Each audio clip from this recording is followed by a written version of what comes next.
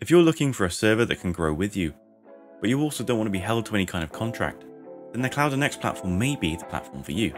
Hi, my name's Tom, and in this video I'm going to take you through the basics of the CloudNX platform, how to get started, and I'll also show you some of the features that are available so that you can see if this is the right platform for you. So first things first, if you haven't got a CloudNX panel set up already, you're going to want to purchase a CloudNX server to get started.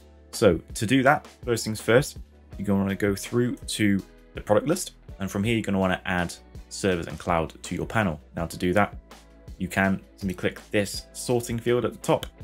And right here, you'll see the option to open a CloudNX account. Now to do that, you do need to purchase a CloudNX server. You aren't charged for the panel itself. It comes free with the server that you purchase. So once you've clicked on that link, you'll get to this screen here and you will simply need to select the server that most fits your needs. Now what server you actually need does depend on what you're planning to do with the server.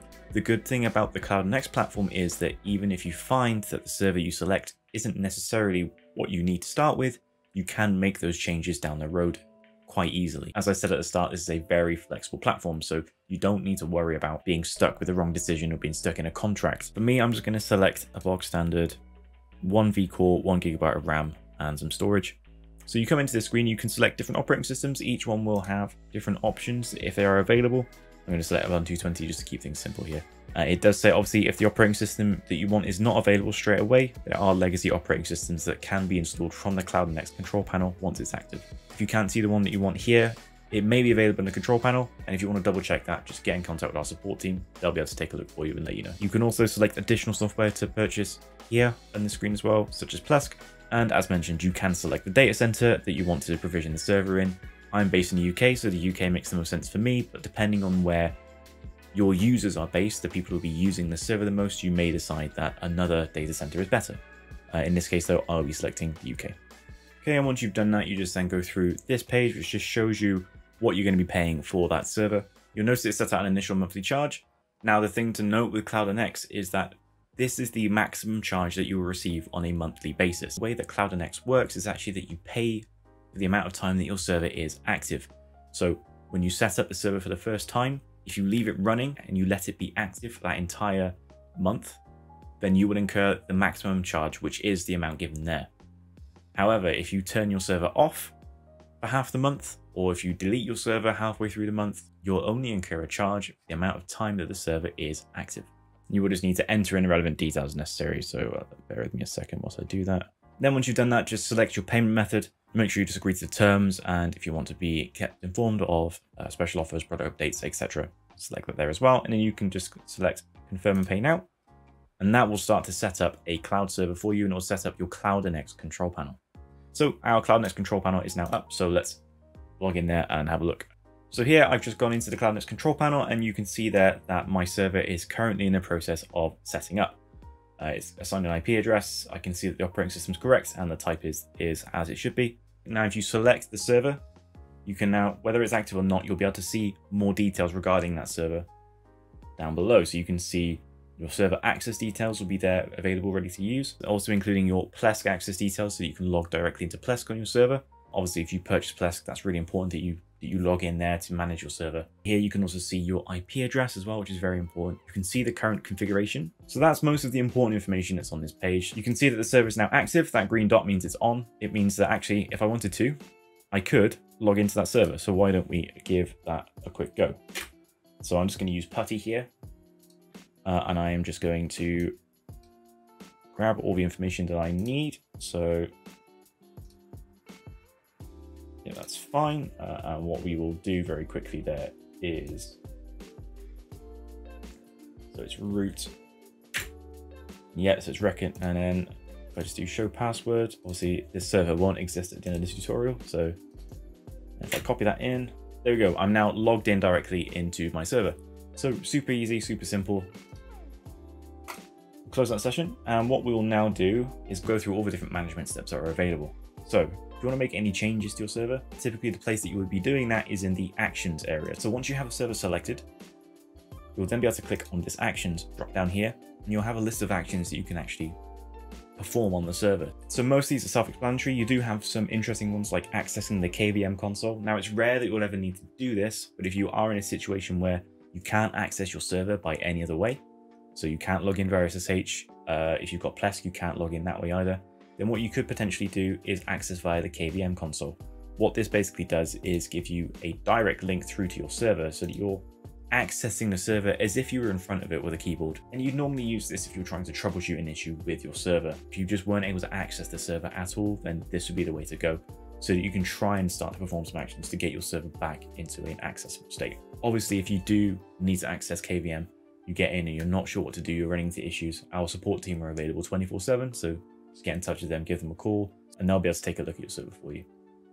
From there, we've also got the option to customize the server. You can select all these presets if you want to, which gives you just kind of like a, a, core base to work with. But what you can also do is look in the flex servers area, for example. So if you know that you need more CPU cores, then what you can do is add in the amount that you need that meet the specification you require. It also means that if you're in a situation where you know you just need a little bit more resource, but not necessarily a full upgrade, you can apply that to see if that helps.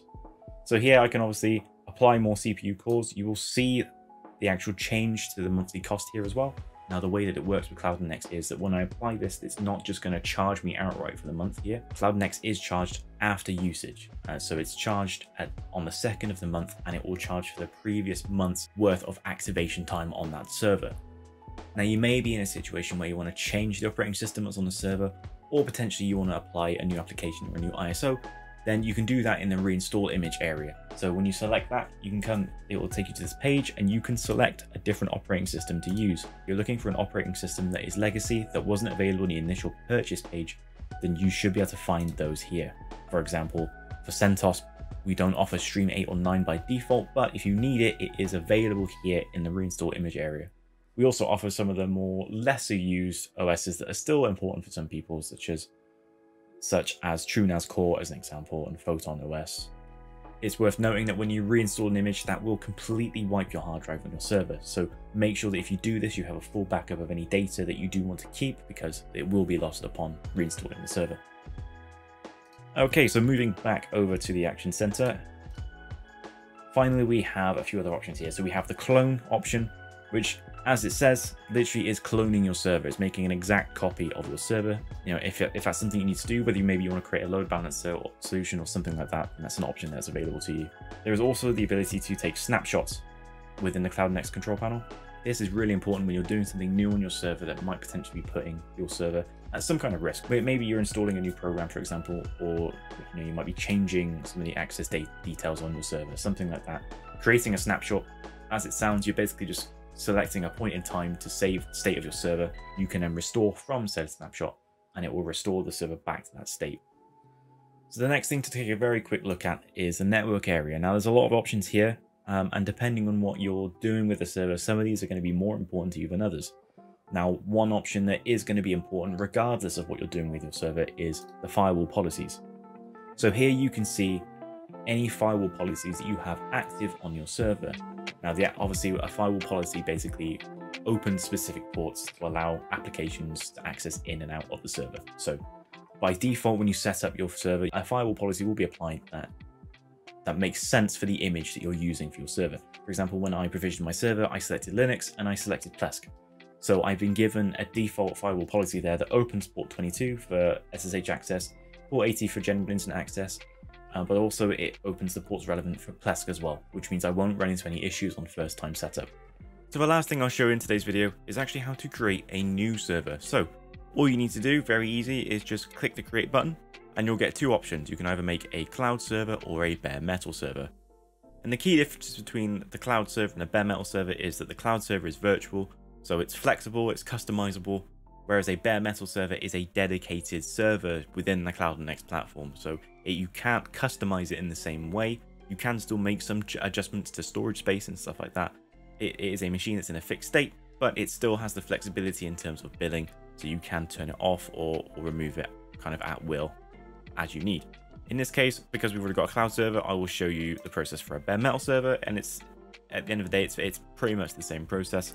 So here you start to create a bare metal server, so you can just select a name. So I'm just going to put in test server 2 and then we can then start to look at all of the different presets. We have some drop downs here to kind of filter out what the options are available in terms of presets. So if you know the resources that you need, if you know what specifications you require, then you can filter down to see what servers we offer that meet those.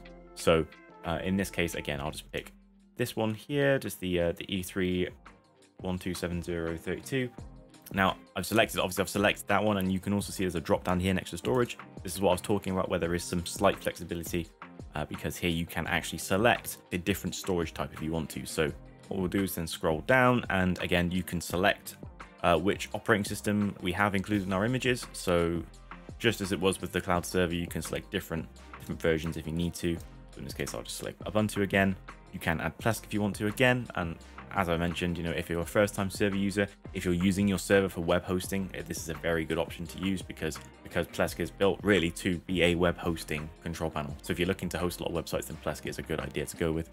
And of course, again, you can select your data center and also this time you can select your availability zone because it's a dedicated machine. It is actually in a physical space in our data center. In terms of the actual availability zones and what they mean, it's just different allotments of availability. What I would honestly do is just leave it on default because if it's selected by default, then that's most likely where we have the most availability. So it just makes sense to do that. Okay, so we've taken you through some of the basics of the CloudNX platform, and I've also shown you some of the features that are available. I haven't covered all of them, and there are plenty of advanced features such as starting your own VPN, using load balancers, and using the Cloud API to also automate features of the CloudNX panel, and these will be topics that we will cover in a later video just to give them their own space and their own room to breathe. But for this video, that should about do it, so hopefully this has been helpful.